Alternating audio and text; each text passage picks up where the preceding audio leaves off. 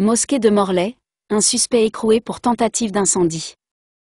Un homme âgé de 30 ans, ayant des antécédents judiciaires, est suspecté d'avoir voulu incendier le 13 janvier la mosquée Saint-Martin-des-Champs. Il encourt une peine de 15 ans de prison. Un homme âgé de 30 ans, pépiniériste de profession et ayant des antécédents judiciaires, a été mis en examen et écroué, suspecté d'avoir voulu incendier le 13 janvier la mosquée de Morlaix, à Saint-Martin-des-Champs, Finistère, a annoncé vendredi le parquet de Brest. Les motivations de cet acte n'ont pas été explicitées à ce stade de la procédure, le mis en examen ayant gardé le silence, a indiqué le parquet de Brest dans un communiqué, précisant qu'il encourait une peine de 15 ans de prison.